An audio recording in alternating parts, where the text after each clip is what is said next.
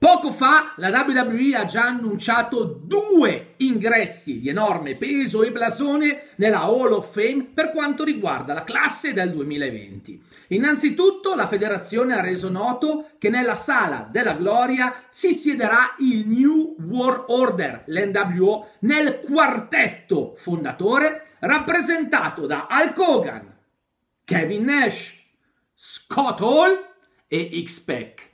Tutti e quattro, peraltro, sono già parte della Hall of Fame WWE.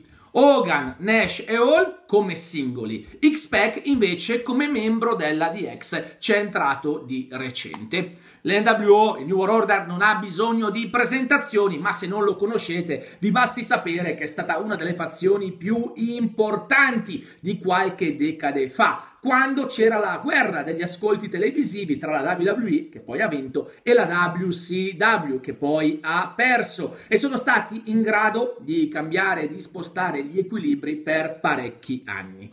A brevissima distanza di tempo dal primo annuncio, ecco l'altra bomba. Tra i premiati tra coloro che entreranno nella sala della gloria tra qualche mese ci sarà infatti pure Batista, l'animale che si è sostanzialmente ritirato dalle scene dopo lo scontro con Triple H della scorsa WrestleMania. Oggi Batista è un attore di buona fama, la cui reputazione si sta progressivamente innalzando grazie a buone prove attoriali e anche all'ingresso in blockbuster di diffusione mondiale come Guardiani della Galassia o Il futuro Dune. A questo punto, dinanzi a nomi così prestigiosi, così importanti, l'unica domanda che resta da porsi è chi sarà l'headliner, ovvero l'uomo simbolo della cerimonia. Sarà l'NWO? Sarà Batista? Qui sotto nei commenti ditemi chi selezionereste voi?